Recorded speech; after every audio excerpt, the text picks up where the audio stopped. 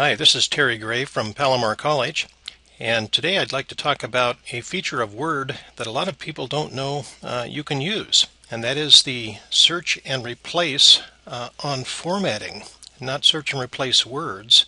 A lot of people know you can do that, but a lot of people do not know that you can change formatting on words in a document using search and replace. So here's how we'll do it. I'd like to use the uh, navigation pane. You can see I have Word up I have a document loaded. Uh, it was one I have taken from the National Institute of Health, non-copyrighted, so I can use it here. And it's text only. I've copied it from a PDF document as text only, removed all the formatting. Um, so right now there is no formatting in it.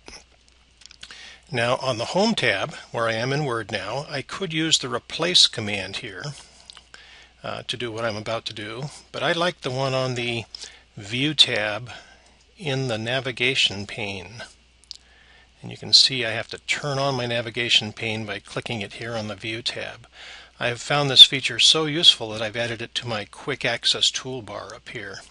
But if you don't have it on your Quick Access toolbar, go ahead and click the navigation pane, turn it on, and there's a little drop down indicator at the end of the search box. The new navigation pane is a, a marvel in Word 2010, but that's another topic.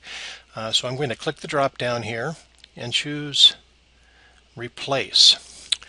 And this is really a, short terminology for find and replace. We have the find, a single term, find something and replace it with something else, or the go to feature, all on the same dialog box.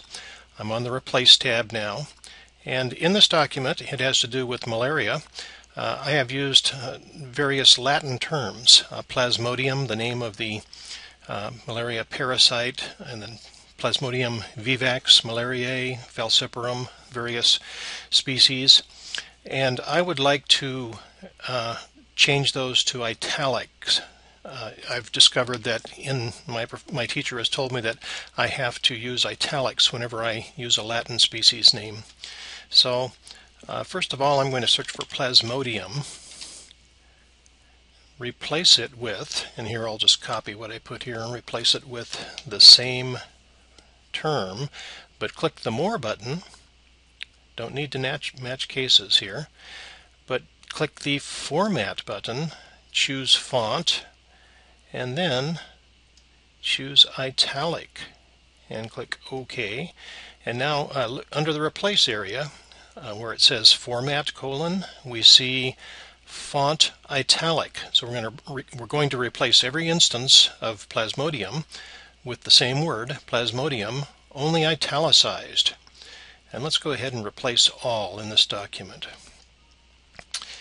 And we get a dialog that says Word has completed its search and has made 16 replacements.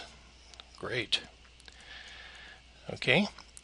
Now if I were to just go back and find Plasmodium, I could find the next instance and sure enough, there it is in italics. And find the next instance and it is also italicized. It was not before I did that operation. Okay?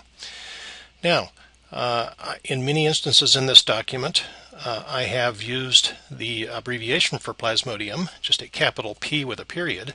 So I want to make those all italicized too. Let's do this same operation. Click the drop down, replace, P period with P period, and our selection is still made if you'll notice. Replace it with italicized. We have to be careful though because we don't want uh, P at the end of words with a period after them, like the word help, to become capitalized and italicized. so let's match the case now. And let's go ahead and replace all. 20 replacements were made. Very good. And uh, when I get this question, do you want to continue searching at the beginning? It means the replacements were made from the point of where the insertion point in the document was to the end of the document. Now if I want to go back to the very top of the document and search down to where that insertion point started, I should answer yes. So I, indeed I want to answer yes. There weren't any more, but uh, that's the way that worked. So I'm saying OK. And now I'll go ahead and just close this dialog box. And uh, now I would go through uh, to continue changing my document by uh, finding all the instances of Vivax, malariae, falciparum, and uh, the other uh, species of malaria, plasmodia. But uh, there's another thing I want to illustrate here in Word, and that is you can search on formatting too. You can not only change formatting, but search on it as well.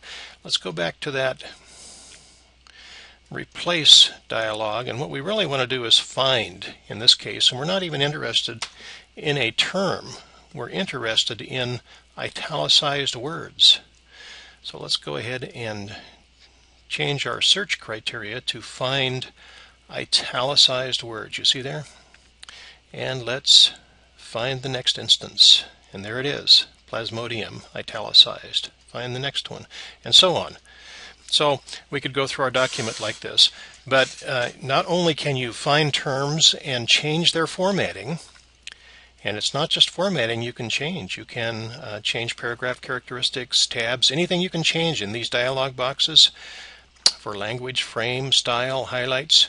You can change with the replace mechanism in Word. This can be very useful in helping you solve formatting problems in large documents. Thanks for listening.